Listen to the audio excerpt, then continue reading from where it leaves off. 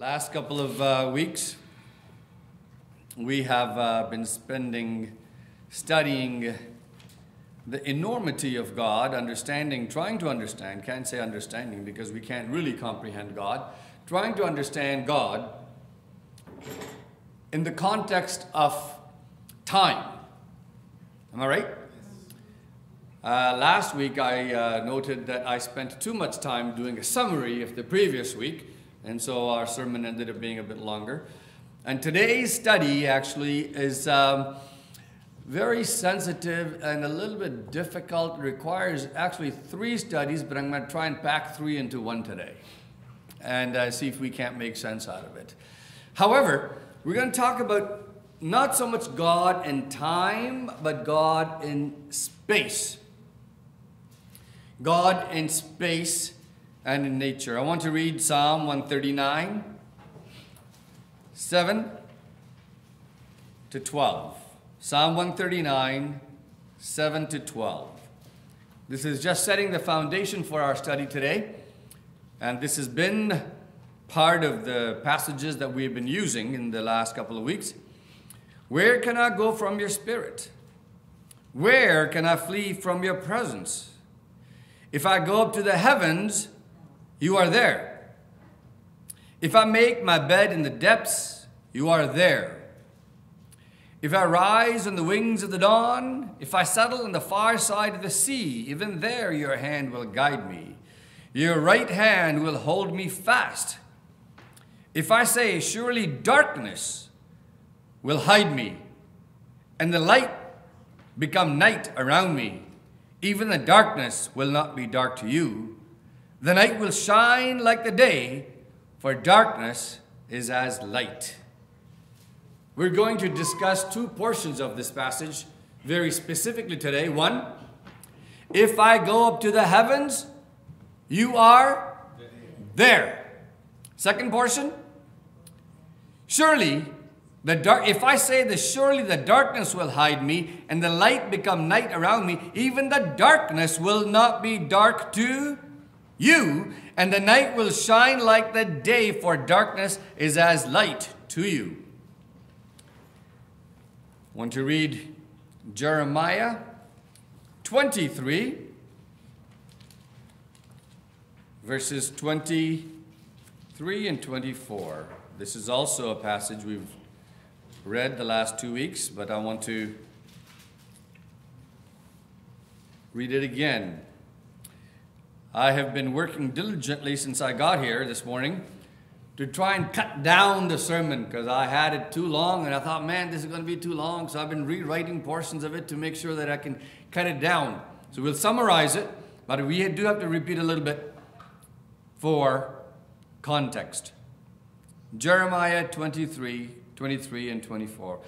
Am I only a God nearby, declares the God, and not a God far away? Who can hide in secret places so that I cannot see them? Do not I fill heaven and the earth, declares the Lord. Do I not fill the heavens and the earth, declares the Lord?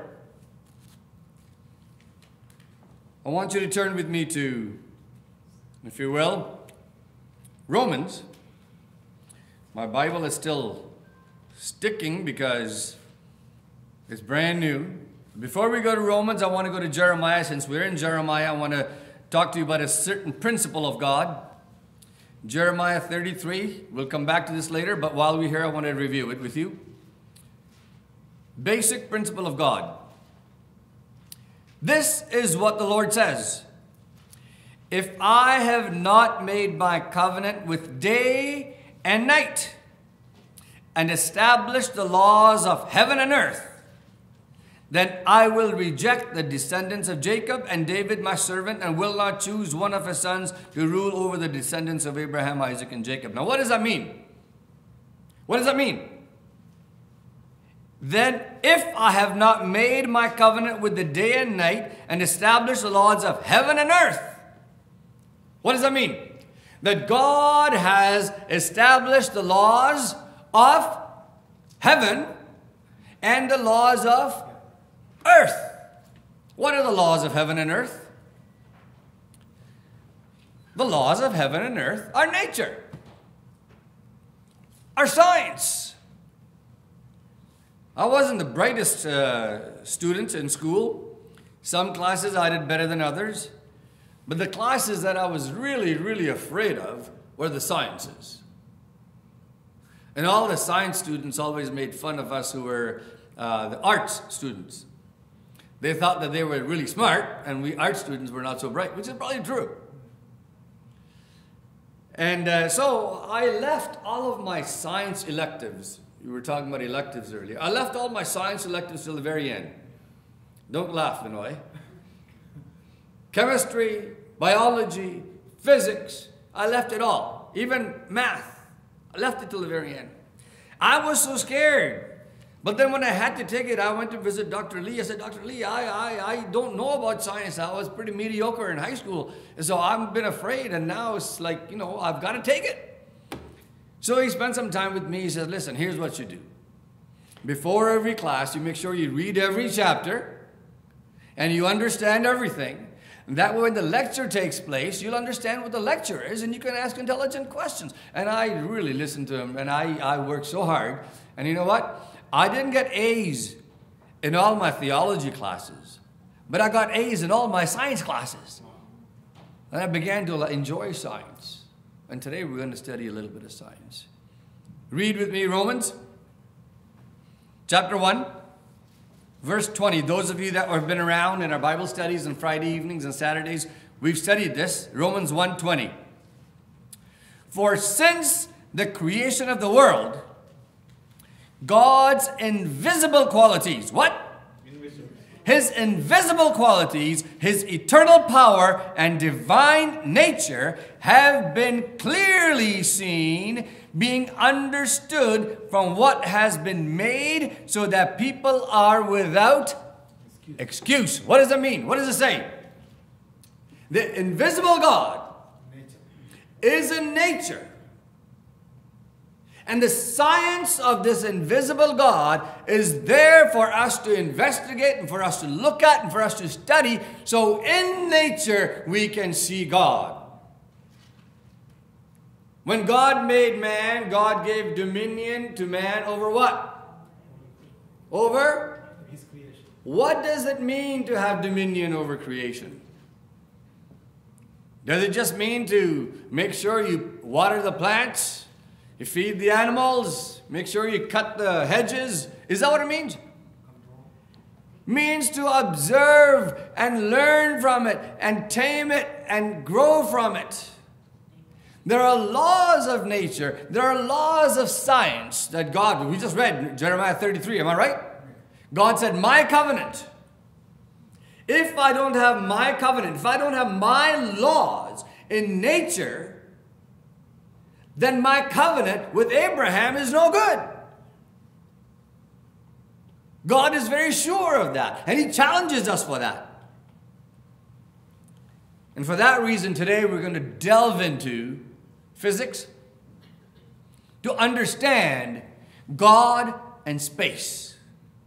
More specifically, God we cannot say God in space, because if we say God in space, then we can find God within the known space. So we have to say God and space. In order to understand the enormity of God, we have to understand where we live in relation to the rest of the universe. What is the source of life as we know it on this earth? The Great, big, bright, hot, shiny what? Sun. Right? Why? Do you know why? Because it is the light from the sun that makes waves and gives waves to atoms and the particles that create life, that sustain life. We'll get into that a little bit more in just a little while. Now, how far is the sun from this earth? Come on, all the smart people. How far is it? No, really far is not the right answer. It's a good answer, 93 million miles. 93 million miles. And do you know how long it takes for light to travel from the sun to this earth? How long does it take? How many minutes? Here's a, this is sign language. What is that? What is that in sign language? Eight. It takes eight minutes, very close. Eight minutes. It takes eight minutes for light to travel from the sun to here. Is that pretty fast? Light travels awfully fast. Awfully fast. And do you know how many, do you know what the name of our galaxy is? Anybody? Come on, you know this. The what? Milky something. Milky Way. Milky Way. Not chocolate Milky Way. It's the Milky Way. And how many galaxies are there in the universe? Have we counted them? Nobody knows. Nobody can count them. Do you know how? See, now notice how fast light travels 93 million miles in eight minutes. That's as, fa- that's as fast as Jubin drives. 93 million miles in eight minutes. Do you know how long it would take light to travel through just our galaxy? Just the Milky Way. Any guess? How many light years? It would take, uh, it's a hundred thousand. It's hundred thousand light years is the distance for just our Milky Way. Hundred hundred thousand years to light for light to travel from one side to the other. When we talk about God being present everywhere, how enormous is that? How big is that? Scientists have a pretty good idea as to how big the universe is. They don't know exactly, but so far, scientists have been able to measure the universe, and they know that it is big enough. It is big enough. Pay close attention.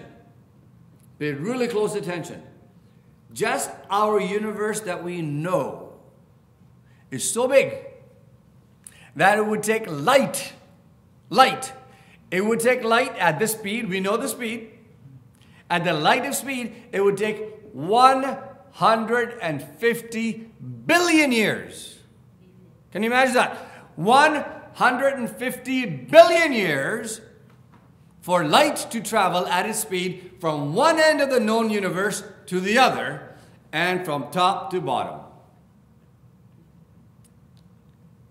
That's not possible to imagine because we don't think in terms of billions. Never. We don't, I don't think we have anything of billions except maybe cells in our bodies.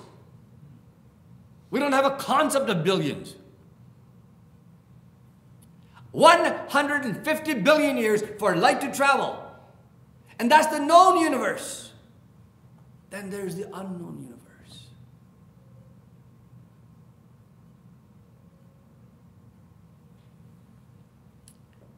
God is bigger than that universe. He is not contained in that universe.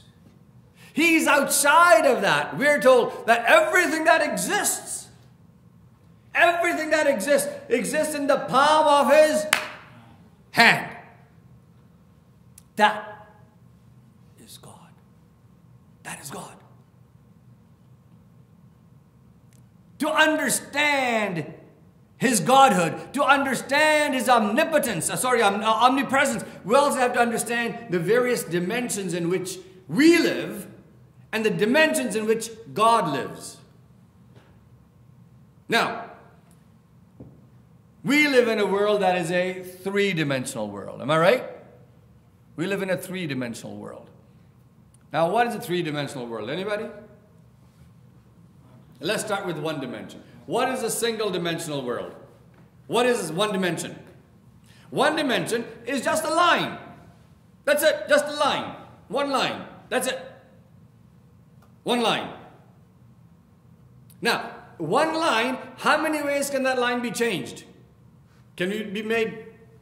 It's just one line. The only way that line can be changed is its length. This way and this way.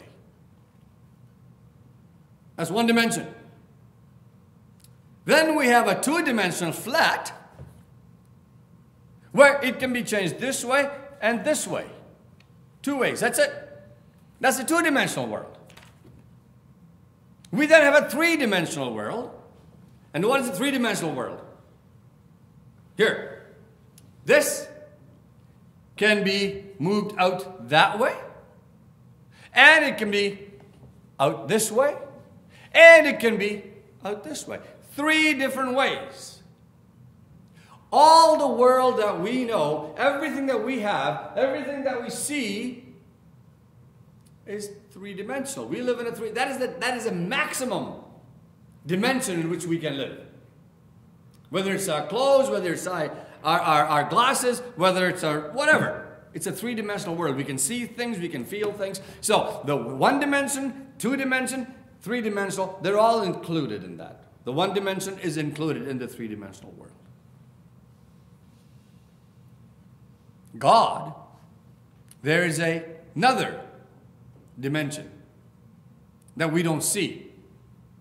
In order for us to be part of this dimension, in order for us to understand this dimension, we need something. What do we need? In order to see it, we need light. Right? And how does light work? Light works in waves. Just as sound works in waves. How does sound work?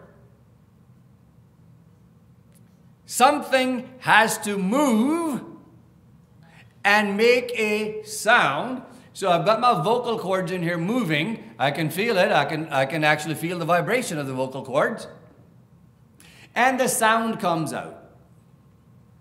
When the sound comes out, it reaches something else. It reaches this and it bounces off of here. It reaches that, bounces off of there. When we were building studios for television or for radio or for concert halls, we put dampers, they're called dampers, to dampen the sound.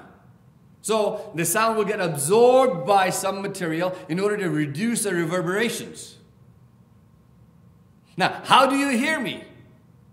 You hear me because in your ear there's eardrums. Am I right? When the sound leaves my mouth, it goes through this space and it reaches your ear and vibrates your ear. And depending on what the wavelength of that sound is, it could be high pitched, it could be low pitched. Your eardrum will respond to it depending on my pitch and my volume. And your eardrum will become a receiver of that sound as it goes from here to there. And that is moving in what? It is moving in waves. When it moves in those waves, that is what causes you to be able to hear. We cannot see those waves, but we can hear those waves. We also have light waves. Light waves, how do they work? Well, there's light here, and the light is coming in. It's coming in from the light bulbs, coming in from the windows.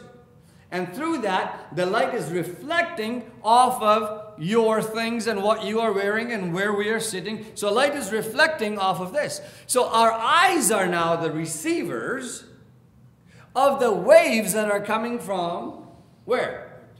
From the different places. I can see that this is black. I can see that you're wearing kind of a rusty color. What color is that? Golden color? And you're wearing a blue shirt. Now, interestingly enough, every color that we see in our eyes is actually a different wavelength. A darker blue has a shorter wavelength than a gold would have. So my eyes are receiving this information by different sizes of waves. And so the entire world exists as a result of waves. How is that? How is that? Everything. Oh, before I go into that, I want to talk to you about dimensions. We're talking about the dimensions. So these dimensions that we were talking about, first, second, and third dimension, there is what is commonly called a fourth dimension, which is invisible. In this three dimensional, we can see these things. There are lights and so on. And through the light, we can see the projection. There's a fourth dimension which we do not have the capacity to see. Our eyes are not made, our eyes don't have the receptors for the fourth dimension. This is what scientists call the invisible dimension. Believers call it the spiritual dimension. Now, there are those who teach that it is in the fourth dimension that spiritual beings reside, both good angels and bad angels, and the powers of God, and the powers of Lucifer. All the spiritual things reside in the fourth. But what's interesting is scientists cannot ex yet explain but they know of up to 11 different dimensions. 11 unexplained dimensions that we don't understand. And there are other scientists who are saying that it's up to 14 different dimensions. And we live and exist and try to understand God when we live in a three dimensional world. God cannot be contained either in space or in dimensions because God is innumerably dimensional, let's call it. There's no limit to how many dimensions God would be in.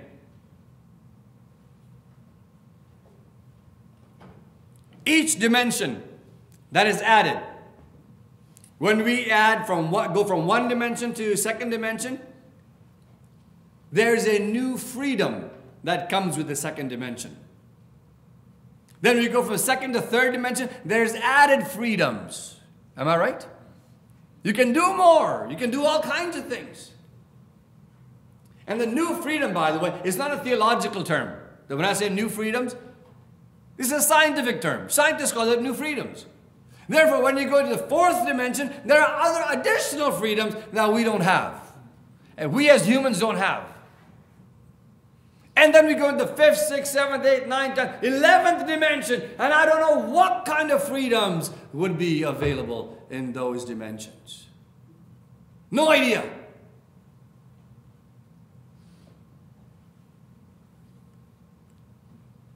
We are talking about the waves. Going to go back to the waves for a little while.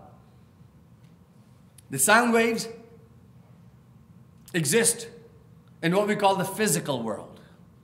Physical world. Physical is that we can touch and see and feel. And then we can see the sound waves. Now, what happens with sound waves?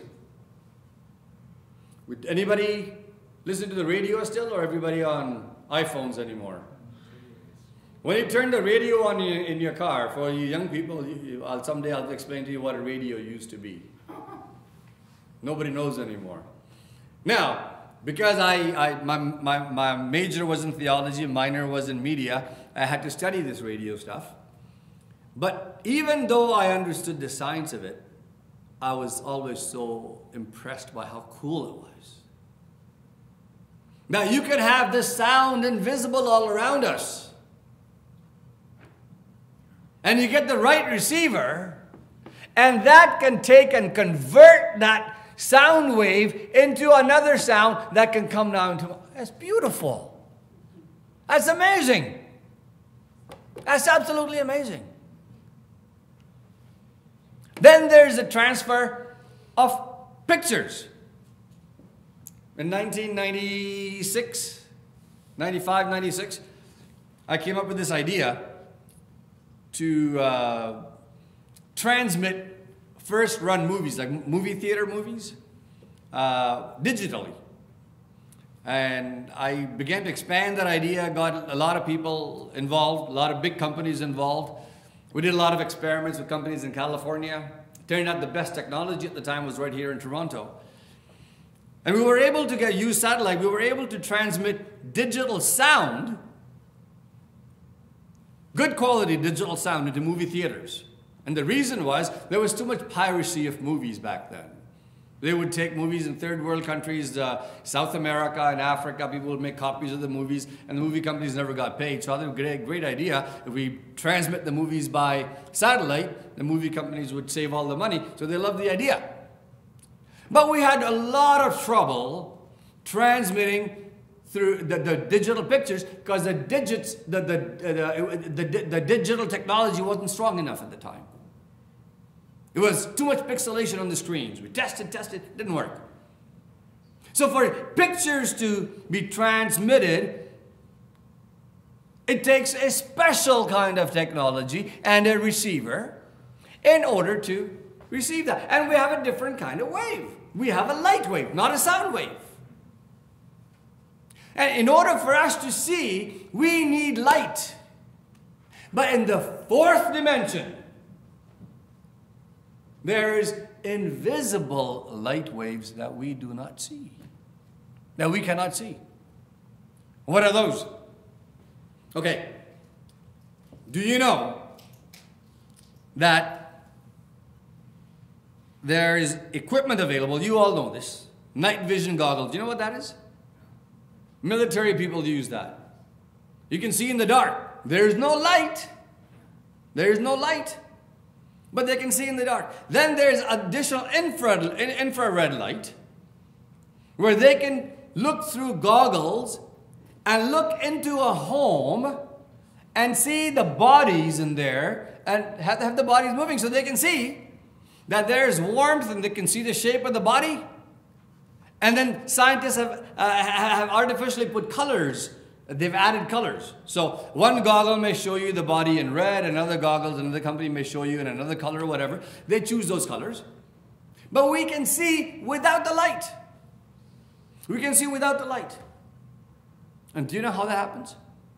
Because we have light inside of our bodies, which is actually mingling with the atoms in our body. The atoms as the atoms move, actually, as the particles, neutron and proton, protons, as they move around the atoms, they have to have photons, light, to give them life. And so, inside our body, there's atoms with neutron, protons. There's the, the nucleus, and then there's eight of those and eight of the uh, other the, the particles moving around. And these particles are actually trying to get life. They're trying to get energy. Because without getting energy, they die. And where do they get the energy from? There is energy within us that we do not see. There is light within us that we do not see. That responds to the needs of the particles and feeds the particles. And do you know that in order for those particles to survive, those particles have to take that light and they have to give it back out to something else. So your atoms are collecting life and giving life to other parts of your body. And that is how we're able to live. The beauty in this science is that invisible God that people believe doesn't exist. If he didn't exist, we wouldn't be here to say that he didn't exist. If God didn't exist, we couldn't be here to say that he doesn't exist. It is because of him giving that light through the sun to the planet Giving that light without anything else, within us, giving that light to the atoms which make us what we are. There is a little bit of a study within this study of miracles. A little study on miracles. What is a miracle? Physics has divided its operations or study or philosophies or teachings into two basic uh, terms as far as the mechanics of it is concerned. One is called the classical mechanics. The classical mechanics. Classical mechanics means this is what uh, philosophers and scientists hundreds and thousands of years ago began to analyze the universe, and the stars, the earth, animals, nature. And they came up with certain principles that they purified more and more and more. And that can be explained visibly that can be taught. You can see, you can experience, you can touch and feel. It's called classical mechanics. Then there is that physics which cannot be seen, we cannot be heard, but it has its effects. It's called quantum mechanics. Quantum mechanics. It's too small. And that's what we're talking about today when we talk about atoms and particles. We're talking about quantum physics. Quantum means what? Here's a hint small, very small. How small is an atom, by the way? Anybody? An atom is so small, you could put 10 million atoms in one millimeter. That's pretty small. That's pretty small. And scientists are able to break those down and study particles and quarks. Amazing. Now, within the classical mechanics of physics and physics, we're able to manipulate things. For example, we can take that uh, bench and we can move it. We can cut it. We can sand it and we can repaint it.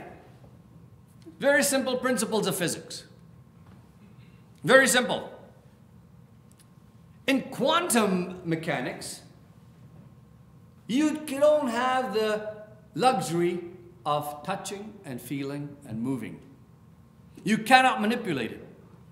We can manipulate the three dimensional, visible, classical mechanics. We can manipulate that world, but not the invisible. Now, there are certain laws in physics that we know that if I was to pick this up and if it was to fall on my toe, it would hurt. That's a really basic law of physics. If I pick it up and drop it, uh, grav- gravitational pull will bring it down. If I have somebody standing on that side, me standing on this side, we'd push it, but we wouldn't move it very easily in either way. The stronger person would eventually push it more that way or that way, but it wouldn't be easy. The easiest would be if they're both pushing in the same direction. That's basic physics. But when it comes to God, He knows the rules of the visible physics. He knows the rules of classic mechanics. But beyond that, God knows and understands the rules of quantum mechanics. Quantum mechanics. If 50 years ago, somebody said you're going to have a cell phone, that you're going to be able to talk on a cell phone around the world, people would laugh. There used to be a TV show called uh, Get Smart. And in that, this guy used to, this spy, uh, the, this agent, uh, used to have a telephone in his shoe. And he would, uh, if he got arrested or get in trouble, he'd take off his shoe and he used to open it up and he used to use the phone. People used to laugh, ah, look at that, there's no phone like that. Now, if somebody doesn't have a phone, people laugh, ah, no, he doesn't have a phone. the world has changed. Why? Because we understood the laws of physics and we manipulated the laws of physics to create a cell phone. Someday we will understand the laws of physics to such a degree that we will no longer need a little cell phone. We will have something, they already have it actually, built into our bone structure and a telephone number that you already have for life. So somebody calls you, you'll hear it right there. And when you talk, you just talk like you're talking. You don't need to carry a phone anywhere. All your bills, everything else is going to be right here. They have it already.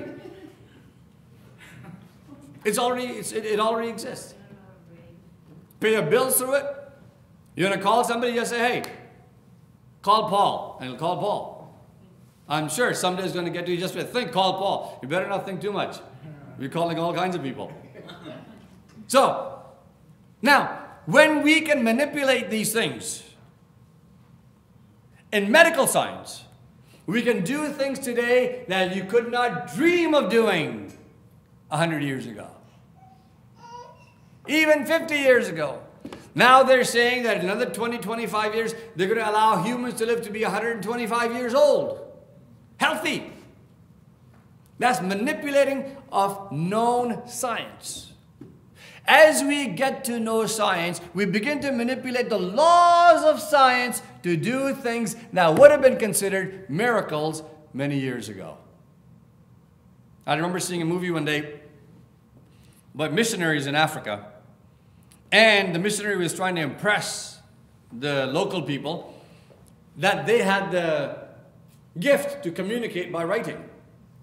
So, the man sends his wife way over there and he writes on a piece of paper and he tells the one person, I have written this.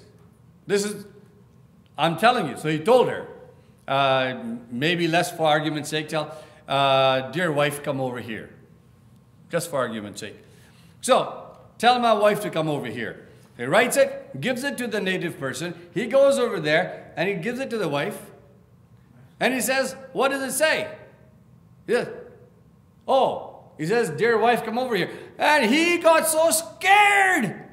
He thought it was witchcraft. He thought it was witchcraft. And they began to listen to the guy because he had such power to communicate. There is so much in science and the principles of physics that we don't understand that God creates. And even though in Jeremiah 33 25, God says He lives within the laws of nature, which He put in place, the covenant of nature. God doesn't take miracles lightly.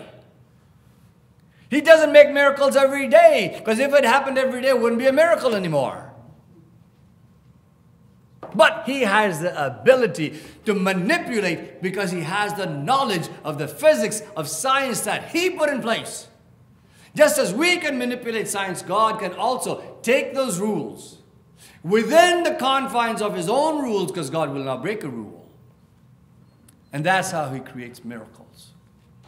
Now, what does all that have to do with us? What does all that have to do with us? Within us, what are we made of? We're made of atoms. I didn't say Adam like A D A M. We're, we're from Adam, yeah. But atoms. We're made of atoms. Atoms are made of particles. And particles survive with the movement of the waves that are created, and everything in the world creates waves or is part of that waves. There's nothing that is not affected by or part of that waves. There are waves inside us. And that creates energy and life. In Genesis, the Bible tells us in the beginning was the Word. And Jesus, and God, when God created the world, what did he say? There was darkness upon the face of the earth. And the Spirit of God did what? The Spirit of God moved the word that's used in the Greek over there actually translates to hover or flutter. Hover or flutter. When a bird flutters, what happens? The wings it makes waves. It makes waves. It makes waves. The Spirit of God fluttered. The Spirit of God is humongous. And as that Spirit moved, God said, Let there be light. What was the first thing He made? Light. The Bible tells us the morning and the evening were the first day. This is physics now. Without the waves, there could be no light. Without the light, there could be no life. Because it was light responding to the particles that made the atoms, out of which God made everything else. That's the bigger picture. In the smaller picture, we have a little baby. That little baby has inside him or her atoms that are moving around invisibly and being and, and, and having an interaction with light. And that light is in our bodies. It is the light of God. Turn with me to Luke 11. Luke 11.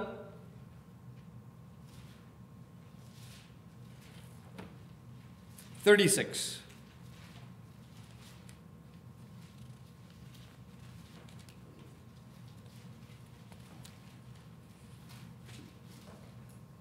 Luke 11, 36.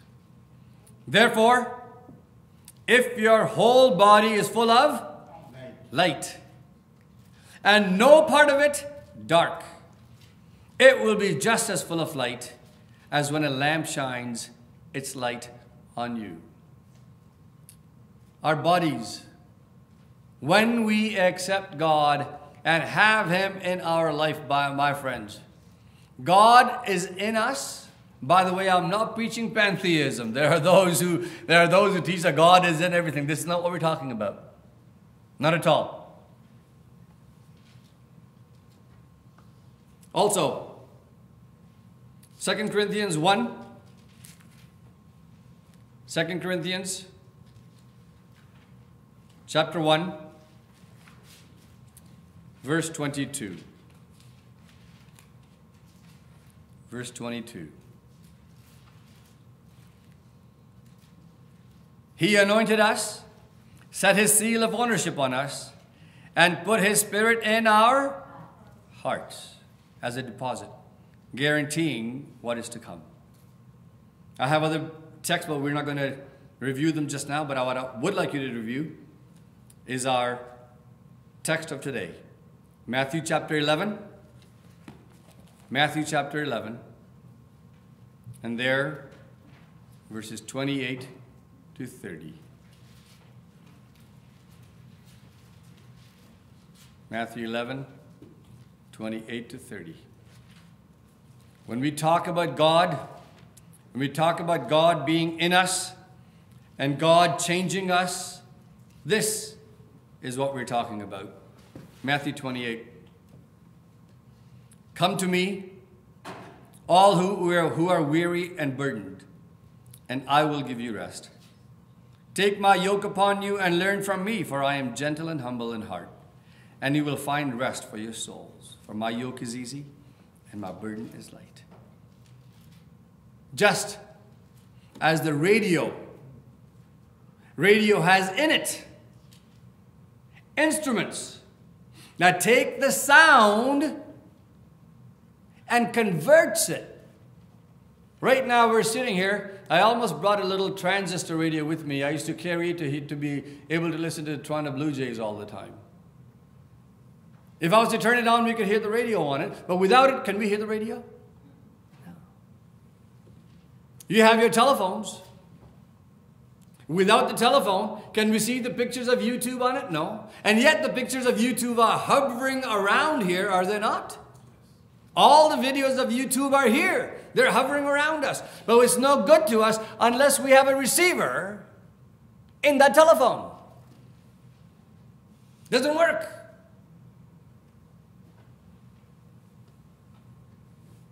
Within us. In order for us to be able to communicate with the spiritual. This is the crux of the sermon today. This is the message of the sermon.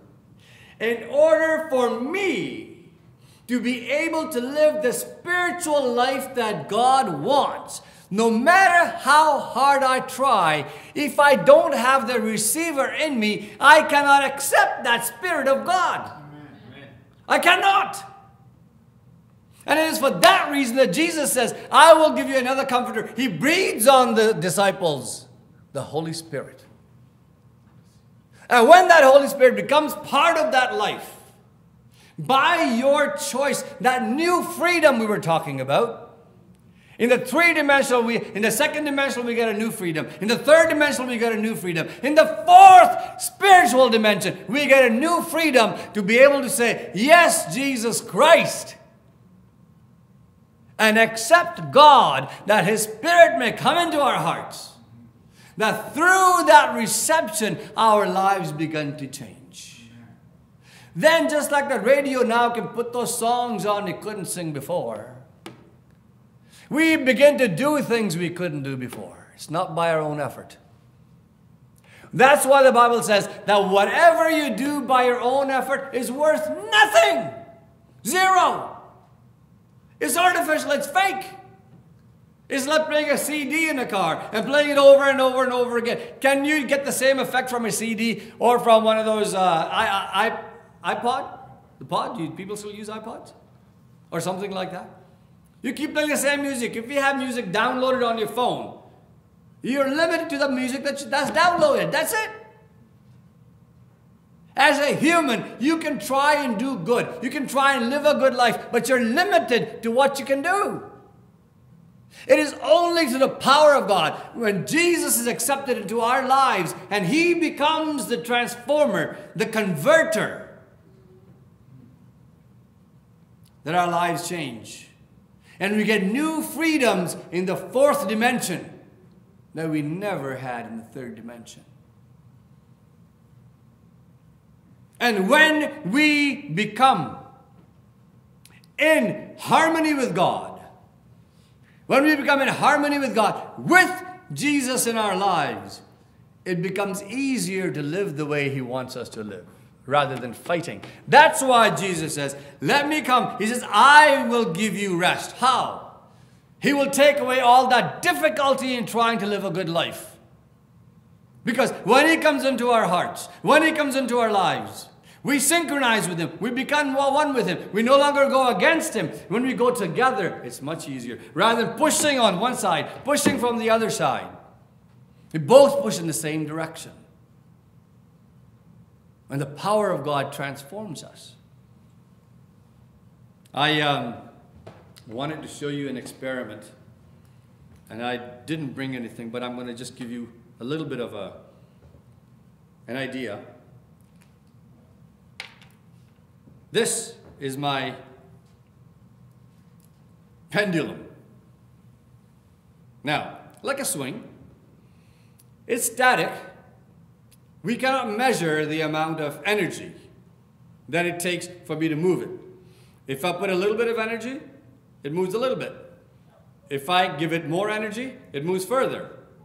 Now, if I move it that way, it comes back. Now, if I move it while it's, while it's going in that direction, while this is moving in this direction, if I move it, it takes a lot more energy for it to go back. But if I let it go that way, come up here, and then I push it, it doesn't take much energy while it's already going in that direction. Do you get it? If I push it, one is pushing against me, it takes more energy. If I push it while it's already going in that direction, it takes much less energy. That's the way it is with us. When God becomes part of our lives and we are trying to live a life that we think is righteous, it's difficult. It's hard. But when we go in the same direction from the transformation in our hearts, I'm going to ask Vivid to put up a little uh, experiment here. Do you know what, um, what a metronome is? Anybody? A metronome is uh, you know what a metronome is. A metronome keeps the rhythm, keeps a beat. Click, click, click, click. And it is made so it keeps the timing exact. It is not supposed to change, am I right? The metronome is supposed to keep the musician on the beat. On the beat. But if you take several metronomes and you put them all on different, different speeds, or put them on at, the, at a different time, and you put them on a platform that is flexible, they work it out that soon they all begin to go at the same speed. Can you turn this on for me, please? Now watch this. Do we have a sound on this? See, they're all going in different directions, different time. Now watch.